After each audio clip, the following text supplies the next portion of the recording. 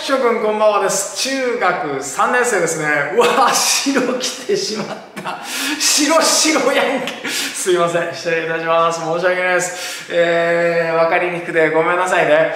えー、比例定数を求める y イコール ax の事乗えー、y は x の事乗に比例する関数というのが始まりましたですよね。Y イコール x の事 ax の事乗というやつです。でこれの a これがやはり比例と同じように比例定数というんですよ。その比例定数の数字をまず求めましょうというのが1点。そして今日の2点目は x の変域が分かってた中で y の変域はどうなるのかこいつもチェックをしてみたいと思います。そして最後。変化の割合。これも求めてみたいと思います。最後にはちょっと裏技なんかもねちょっとやっつけてみたいと思いますのでよろしくね。お願いします。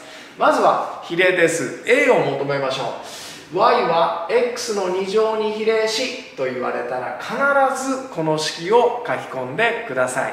そして x が2の時 y がマイナス8だよと言っているので代入をしてあげます。X に 2y にマイナス8ですね。となるとマイナス8イコール 2×2 で4でいいですか？ね。ですので 4a となれば良いでしょうか。ここどうですかね？いいでしょうかね？はい。そうすると移行します。マイナス4で割ってあげてください。A イコールマイナス2ですので y イコールマイナス 2x の事乗と決定しました。この関数ね。で最終段階です。x が5の時だから x に5を入れてあげてください、え y イコールマイナス 2×5 の2乗ですよね。ですので y は25になりますからマイナス50というこんな形になれば大丈夫です。ではその下です。Y は x の2乗に比例し x が1の時ねえーと、y が3ですよというからやはり今と同じようにして ax の事乗に置きます。x が1の時 y が3ですので入れますよ。3イコール陰1が1なので a は簡単だ。これは。A が3と決まりました。Y は 3x の事乗っていうことになりましたね。で y に27入れるわけですよ。と27イコール 3x の事乗なので移行します。まあ入れ替えちゃってもいいんだけどまあ今日はごちゃごちゃ言わずに移行します。マイナス3で割ります。X の事乗イコール9これは二次方程式ですよね。そう。プラスマイナスがつくんです。X はプラスマイナス3こんな形で出してくれば OK ということでありますね。さあ今度は変域なんですね。y イコール x の2乗という関数でグラフを簡単に書くとこんな感じで上に開いているグラフですよね、えー、x の変域がマイナス1以上4以下の時つまりこんな感じなんです。マイナス1以上4以下ですのでこの点から始まってこの点までなのでいらないグラフをちょっと消してしまうとここ関係ないんです。ここなんです。ここからここまでということですね。マイナス1を代入すると陰1が1なんでプラス1ですよね。4を代入すると四子16だからここ16ですよね。となるとまあプラス1から実は一旦下がって0までやってきてそれから上がってって16までなんです。つまり0という一番小さい値を取ってるってことだよね。だからこれはこっからここまでというのが y の変域になります。ですので0以上 y は16以下とこんな形で書いてやってください。X の変域が0をまたいでいる時一旦小さくなってから大きくなったり逆のグラフですと一旦大きくなってから小さくなったりするので要注意です。ここだけチェックね。入れておけば大丈夫だと思います。ではいきますよ。変化の割合です、えー、y=2x2 乗について x の値が1から4まで増加する時の変化の割合はいくつになりますか？っていう問題です。これは変化の割合って実は x が何個増えた時 y が何個増えますか？というのが変化の割合でした。例えば1次関数であったとしたら x がね1増えた時に y が2増えてますよって言ったら1分の2なのでこの変化の割合は2としたわけですよね。こんな形。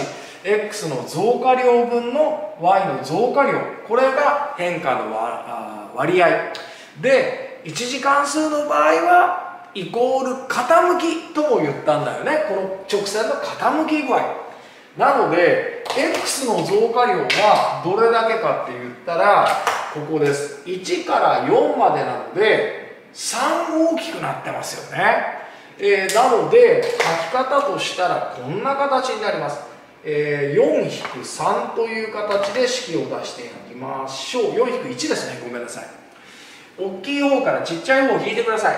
そしたら4を代入した y の値も必要なので上 y の増加量だから 2×4 の2乗。そしてまた1も入れます。これから 2×1 の2乗を引けばこれで y の増加量が分かりますよね。分子上。下は x の増加量です。なので3分の16ですよね。四子 16×232 引くごとの因1が1ですから2ですのでこれはイコール3分の30となっていやー出てきました。10という形で答えることが可能であります。ではここでこの変化の割合について裏技を導き出していきたいと思いますのでちょっとお付き合いお願いいたします。さあこれをですね一般式で計算をしてみたいと思います。こんな感じです。y イコール ax の事情において x の値が b から c まで変化したとしましょう。この時にどんな変化の割合この式はどんな感じになりますかというので文字を使って表現をしてみたいと思います。まず1から4までの時は4-1をしたんですよね。だから B から C までの時には C 大きい方からちっちゃい方を引けばいいんですね。C から B を引いたんです。C-B4-1 です。ほんで4をここに入れたんですよね。ここの X にね。だから C を X に入れます。そうすると AC の事乗になることが分かります。X が C になったんです。それから今度 B も入れたんですよね。X を B にして AB の事乗を引いたんです。ほら 2×4 の事乗から 2×1 の事乗を引いたんですよね。ですのでこの式が変化の割合の式っていうことになりました。うんそうだよね。そしたらね分子が A で因数分解くくれるので A でくくります。ほらほらほら。そしたらさ事乗引く事乗なんていう乗法公式知ってますよね。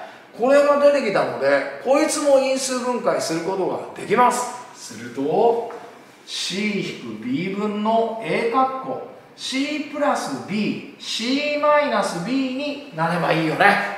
C マイナス B って分母にもある。分子にもある。わお。同じものがあるから約分しちゃいます。キャー。するってとどうなるかというと A 括弧 C プラス B になっちゃうんです。C たす B って2たす33たす2だっていいよね。入れ替えます。B プラス C わおこれが裏技。裏技。完成。パフパフパフ。Y イコール ax の事情において b から c まで x の値が増加するとき変化の割合は A 括弧 B プラス C でできましたということはちょっとこれに当てはめてみましょう。こいつです。Y イコール 2x の事情について、えー、x の値が1から4まで変化した時これですね。A が2です。B が1です。C が4です。ですので2かっこ1プラス4わー出来上がりですね。となると 2×1 足す4で510出ました。ということでこんなものも使えます、えー、ぜひ頑張って使ってみていただけると嬉しいです。ではまたお会いいたしましょう。